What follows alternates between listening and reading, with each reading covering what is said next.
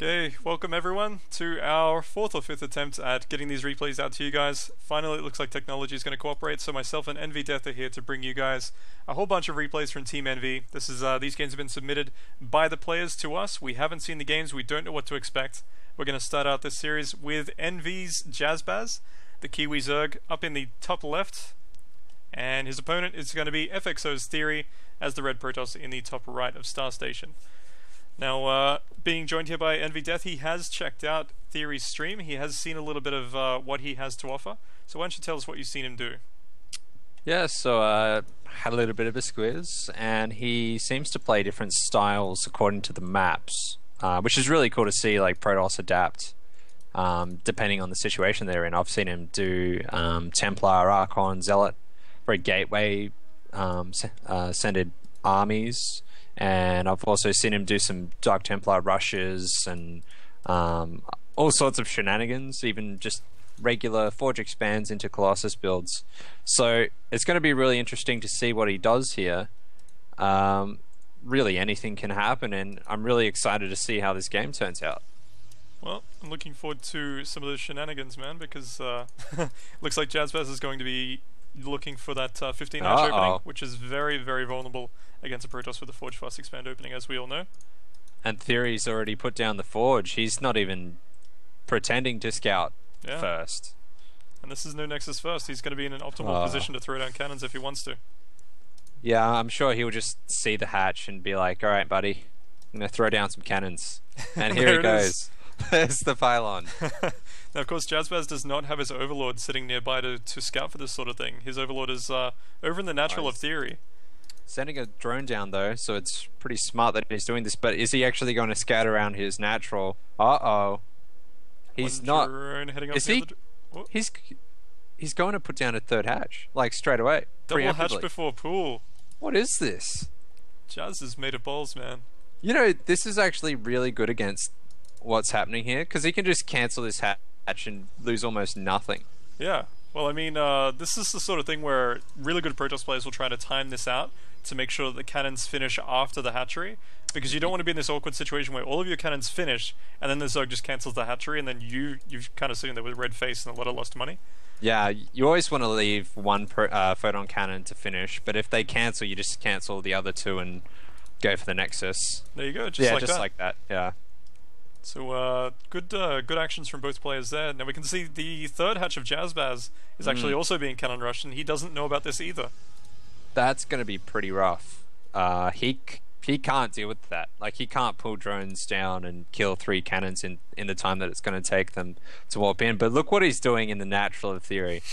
look how obnoxious that is. That's pretty he's crazy. Saying, you know, if I can't expand, then you can't either. I like Suck it. them apples. now we can see he's getting gas as well, so this kind of suggests that he might be looking to go for banelings or roaches as a follow-up.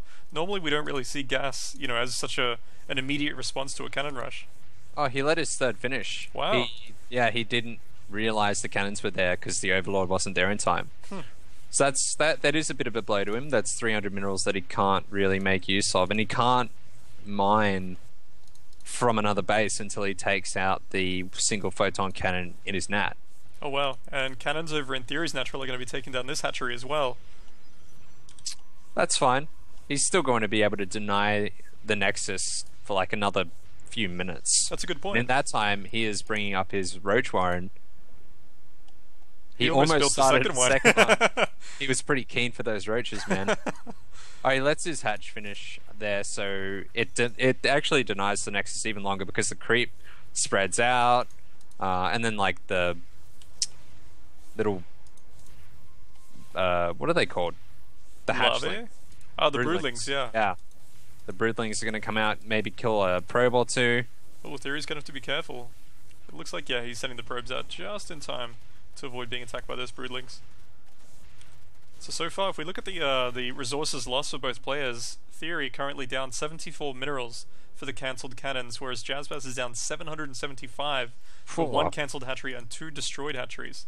Oh, I love what he's doing there with the proxy hatchery, though, because that's going to finish, and he's going to be able to make a queen and then just keep pumping out roaches. Ah. And because Theory's still on one base. Like it's still essentially one base Protoss against one base Zerg after all this time. That's true. Now, uh, one thing that I, Roach is going to be really good against those cannons. I'm also a big fan of this hatchery because it means that if he is uh, facing air units, he doesn't know yet about this Stargate in the natural, but if he is facing air units, he can very easily put down spore crawlers to protect himself and to kind of create a barrier there where the Void Rays can't chase down the roaches. Obviously, now that uh, in Heart of the Swarm, the uh, the spore crawler does not require an evolution chamber as a prerequisite, so they're Yeah. very very easy to get. Jazz can even get a couple of spine crawlers if he wants to, and if he's really cheeky, he could even expand to Theory's third. he certainly could. I really hope we see that. That'd be hilarious. Have a lot of static defense, maybe get some uh, swarm hosts after getting lair tech. Uh, here, here he goes, though. He's going to be knocking down that one photon cannon, and then he's going to have free reign to knock down the forge, the gateway, and the pylon if he wants to. The thing that is going to be coming out, though, is that one void ray is going to make short work of all these roaches. He needs to get a couple more queens out and get a spore crawler up as fast as possible. But he is, he's just bullying his way in there. Wow, these lings came at a perfect moment too, because obviously the Void Ray only dealing uh, bonus damage when charged up against the roaches takes a little bit longer to kill those lings, so it does provide a lot of extra health to buffer for those roaches. That is true.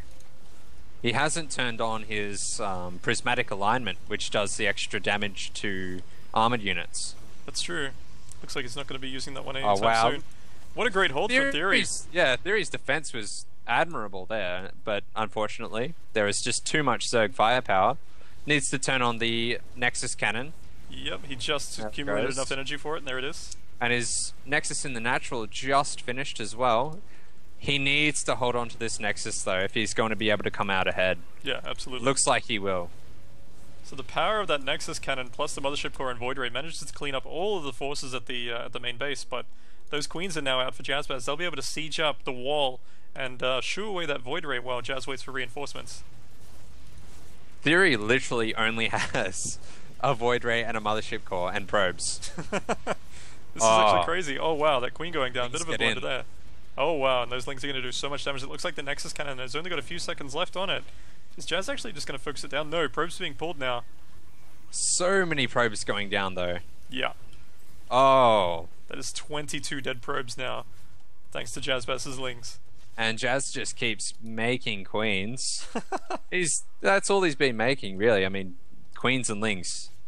Who would have thought that this would have been viable? This is like the most unorthodox game I've seen in a while.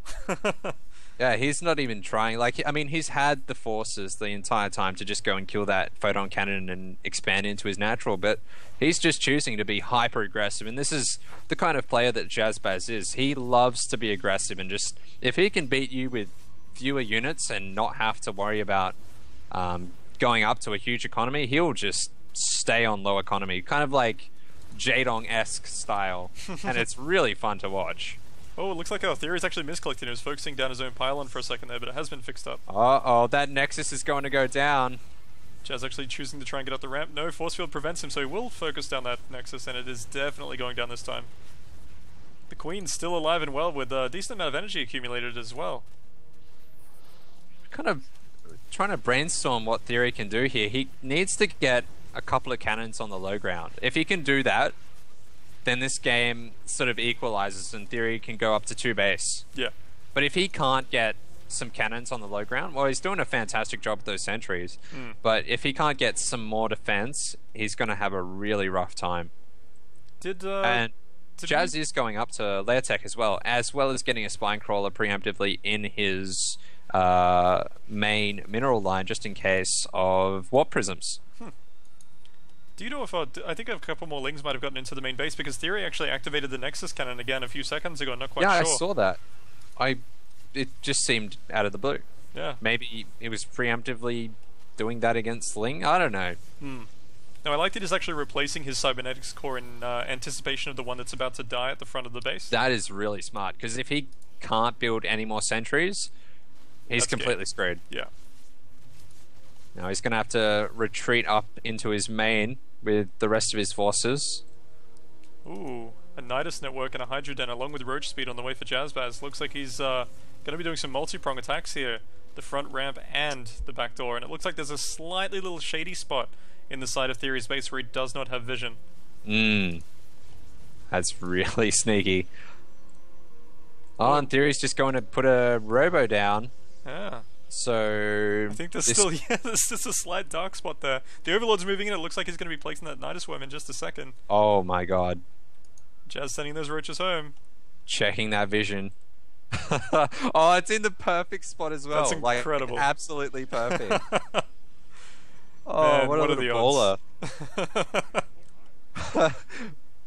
Oh, you'd be spewing if you were Theory in this position because to him it looks like he's held it off, and then bam, roaches and roaches in are going to start pouring through. wow. It's two at first, but now he's going to be sending everything back into his main, and just a stream of roaches come in, and the GG is called. Well, that was pretty crazy, man. JazBas showing exactly how you can uh, lose your expansion twice when going hatch, wait, double hatch before pool, and somehow pulling off a win. It, it almost didn't look like a game of StarCraft. It kind of just reminded me of like crazy games of uh, Command and Conquer or something with Yeah. just small groups of units and completely unorthodox styles. Yeah, that felt like a game of Warcraft 3 to me. Yeah, It was pretty Definitely. nuts. All right, I well, love it. One that's more. uh, that's the end of our first game. We'll be back soon with another game.